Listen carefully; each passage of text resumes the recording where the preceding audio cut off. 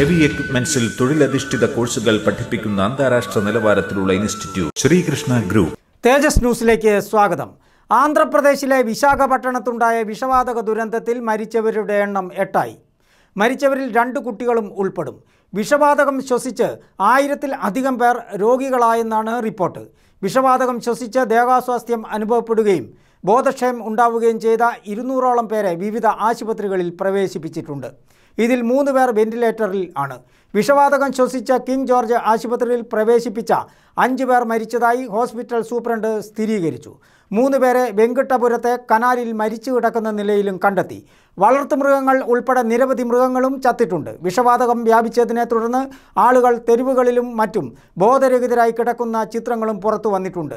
ബഹുരാഷ്ട്ര ഭീമനായ L G polymer industrial കമ്പനിയിൽ നിന്നുണ്ടായ വിഷവാതക ചോർച്ച അടച്ചതായി അധികൃതർ അറിയിച്ചു. ആളുകളുടെ ജീവൻ രക്ഷിക്കാൻ ആവശ്യമായ എല്ലാ നടപടികളും സ്വീകരിക്കാൻ മുഖ്യമന്ത്രി ജഗൻമോഹൻ റെഡ്ഡി ജില്ലാ ഭരണകൂടത്തിന് നിർദ്ദേശം നൽകി. മുഖ്യമന്ത്രി ഇന്ന് സംഭവസ്ഥലം സന്ദർശിക്കും. ആശുപത്രിയിൽ കഴിയുന്നവരെയും അദ്ദേഹം സന്ദർശിക്കുമെന്ന് അറിയുന്നു. സ്ഥിതിഗതികൾ സൂക്ഷ്മമായി നിരീക്ഷിച്ചു വരികയാണെന്നും റാപ്പിഡ് ആക്ഷൻ ഫോഴ്സിനെ സംഭവസ്ഥലത്തേക്ക് അയച്ചതായും കേന്ദ്ര ആഭ്യന്തര സഹമന്ത്രി ജി. കിഷൻ റെഡ്ഡി പറഞ്ഞു.